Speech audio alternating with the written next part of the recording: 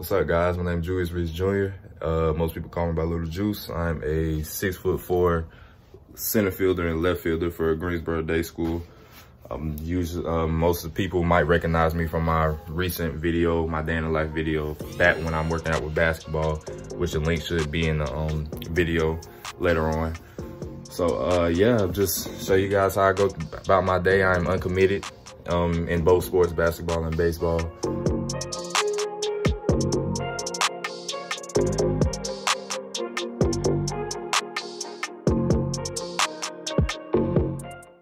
Uh, fell, I fell in love with this sport. Actually, not too long ago, kind of recently, I fell in love with this sport. You know, I played both. I've been playing both sports for a long time, baseball and basketball, but particularly baseball, I've been playing it longer. I've been playing it since I was probably seven. Um, yeah, and I just been just, I just, it's my second love. It's my, it's my other sport. Yeah, so I just fell in love with that. One of my biggest inspirations and role models when it came to the sport is actually my um, older cousin, um, E.P. Reese. He uh, played at North Davidson High School and he uh, went on to play at NC State, Liberty, and Winston State and later got drafted for the Houston Astros.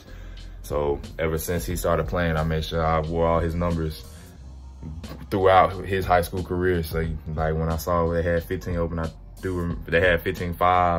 A lot of his numbers, his numbers he had, they had open. I was like, man, I gotta get it. I gotta get it. I was hoping they had his pro number uh, for my school, but they didn't. It was a little extra big for me. But yeah, he's been one of my role models, my inspirations for playing this sport. Um, my father, he also he helps me out. He helps me train, you know, throw base. We go uh, take batting practice a lot. He throws the balls at me and stuff. Um, just like as he does with basketball, him and my trainer Drew Cone, um, which that's all in my last video. Um, yeah, so uh, today is game day. We play Cal. We play Calvary today. There, it's gonna be a nice matchup. They're number two in the conference right now. We're number one. So, you know, if all goes well, we should end this day out with a dub, man. That's that's the goal. That's that's the main goal, you know. Uh, yeah, so just I'm just gonna show y'all how I get ready, how I prepare for game day, um, how my online school looks, the setup, um, the drip. You know, the drip always got to be crazy. You know, my motto: look good, feel good, play good. And as you can tell, I'm just waking up. You can see my hair is undone and yeah, you know, I gotta, I can't go out there looking like this. You know, I gotta go out there looking good. You know, that's the goal. So yeah, just, should be a nice long day. I'm going to take you guys through it, man. So stay tuned, man.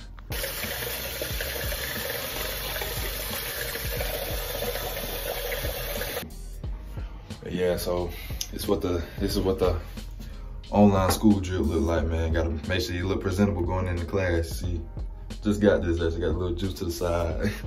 but yeah, so you know, just this is how I get ready. This is what I'm wearing today for class. You know, got the hoodie, hat, chain. Just brush my teeth. You know, about to go outside and show you guys the setup.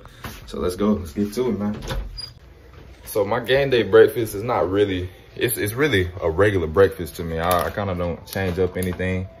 Um, I gotta. I usually gotta keep a banana on deck. You know, for the cramps gives me, you know, potassium, gives me the right stuff I need to, you know, go throughout my day. I usually these like the snacks, like fruit. I, that's just regular to me. It's not really nothing special. It's just a regular snack to me. I can eat fruit all day. So banana, I always got to keep that on deck, especially especially for breakfast time.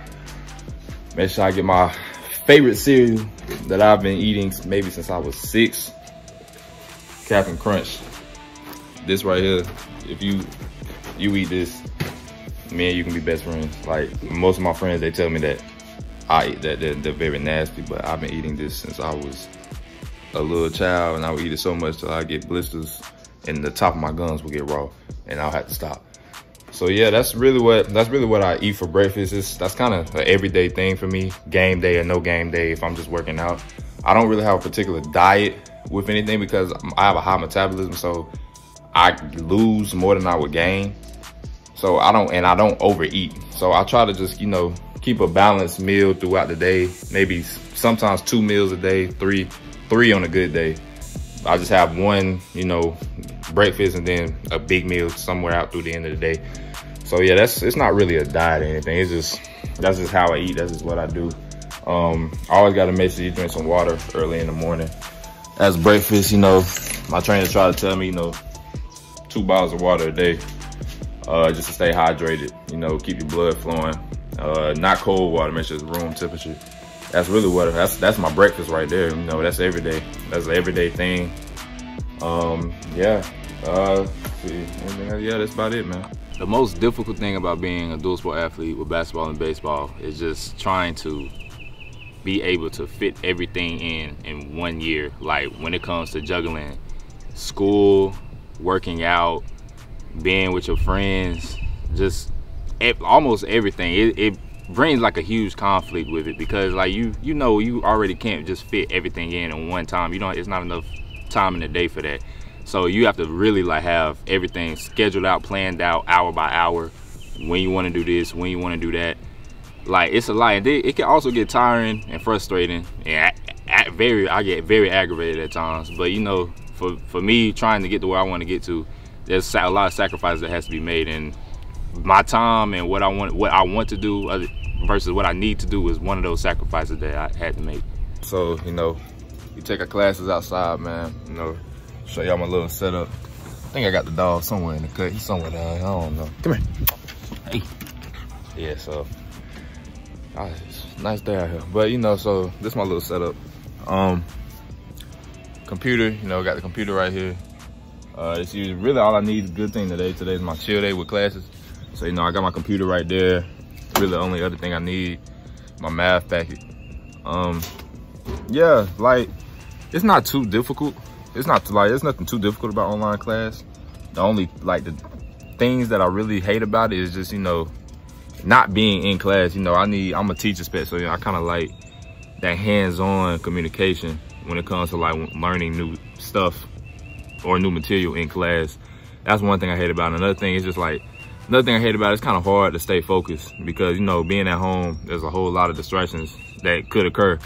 So just trying to stay focused. That's one of the biggest issues that I probably do have with it. But other, like out of those problems, my grades are still good right now. It could be better, but you know they're good. 3.8 GPA, so it, it could, it's good right now. Um, my favorite thing, my my favorite thing about the class though, is there are times where we get out of school maybe, we'll get out of class like maybe 20 minutes earlier than the ones that's in school. Because like we do everything and then when we finish it all most of the stuff that we do is like work that we can do on our own. So like when we finish it all and it's like go on have a good day. Like that's that's like one of my favorite things. Because you know it you don't like you don't it's rare where you get out of class early like that. So yeah that's why that's like one of my favorite things when it comes to class and stuff.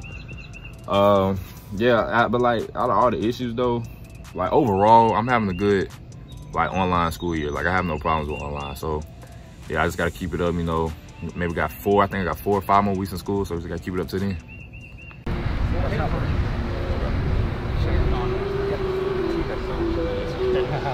Hold on.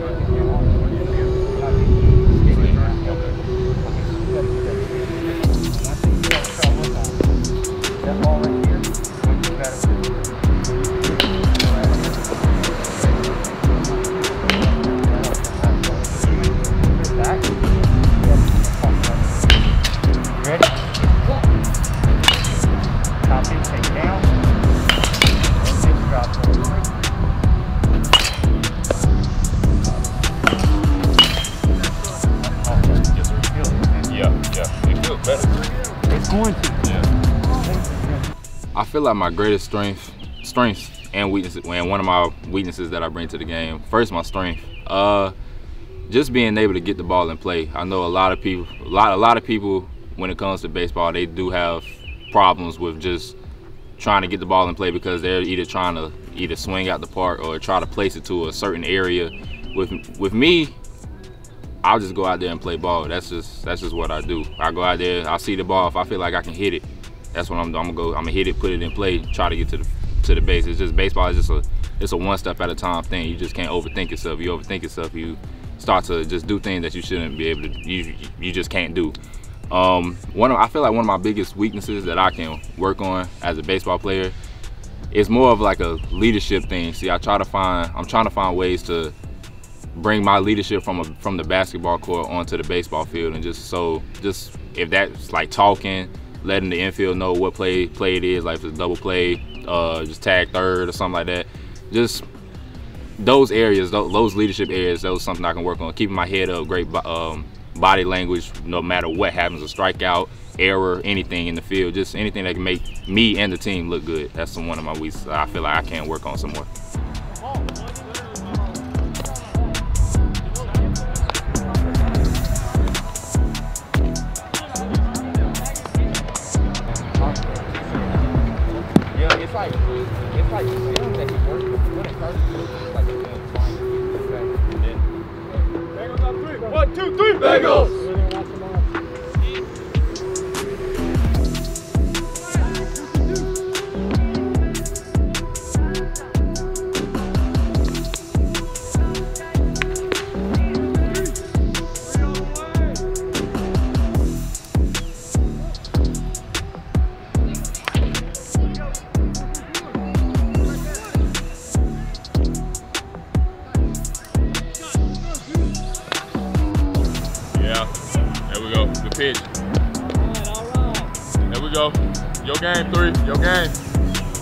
Baby. We go. One more, one more. Let's go. Finish the job. Right there. Yeah, baby. Hey, we got two.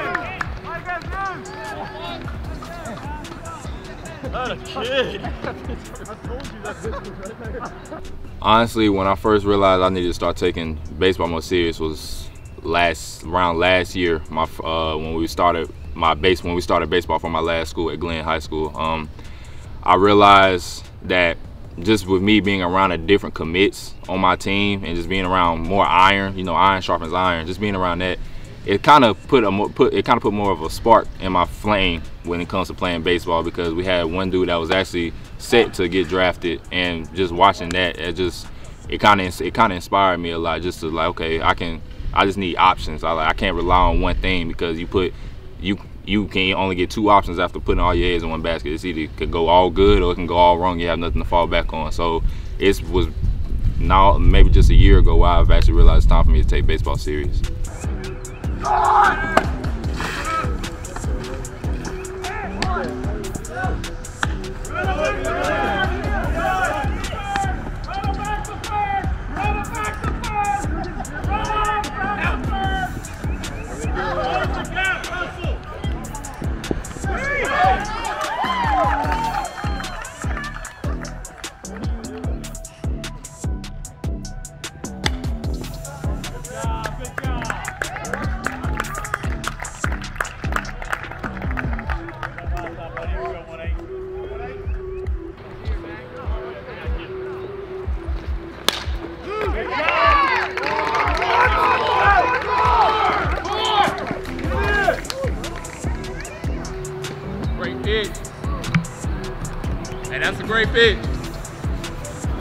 Yeah.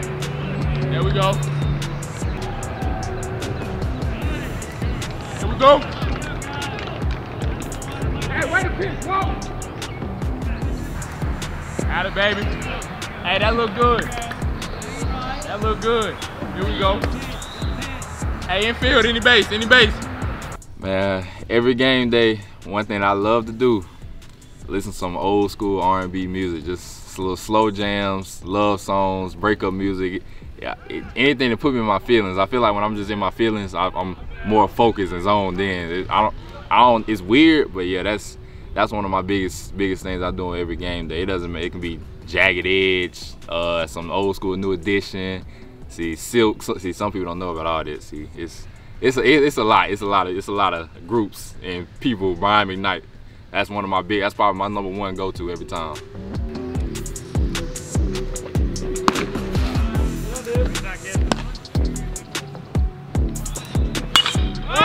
My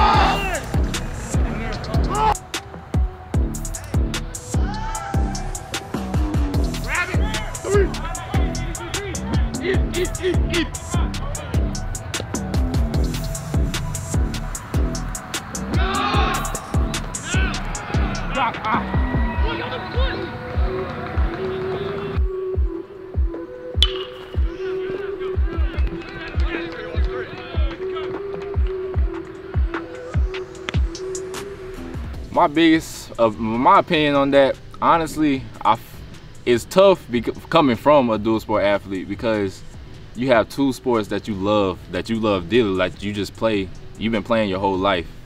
And it's hard and then you you have to always keep in the back of your head that one day one of one of them it doesn't matter which one but one of them will come to an end. So it's like with me right now i'm i'm like stuck like dead in the middle on what i want like which one i want to do because I worked so hard and I worked so hard on both of them and it's like hard to just give up one because you try you think about it, it's like man you work so hard for this why give it up now? It's like and then like with me basketball and baseball is doing the same like same time frame season frame so it overlaps. So it's it's it's tough it's, it's just real tough and like I'm still trying to figure out I'm I don't know exactly what I'm going to do yet but when the time comes, I'm just waiting for. I'm I'm really just waiting for the best thing, what the best thing, the best situation. What situation will put me in the best place to make money or do what I want to do for the rest of my life and make sure I'm straight, my family's straight, and my family is straight in the future.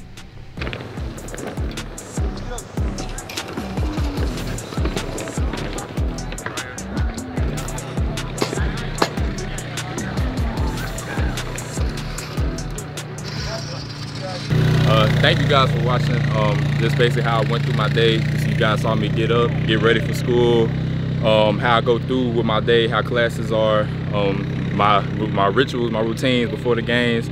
Uh, came out here, we came came up short, but we'll see them again tomorrow. Uh, came down, wasn't really, came, it came down to the wire a little bit. We made some kind of mistakes in the uh, field, in the infield beforehand. Um, went two for four today. Uh, so we just come out here, come back out here tomorrow, you know, get ready, uh, hopefully get get back at them. You know, it's like conference game, so you know it's gonna be tough. Um, shout out to everybody, shout out to everybody that's been with me through day one. Maya, uh, Maya, somebody, all them, man. Good, you know. Uh, so thank you for watching, man, and see you guys next time.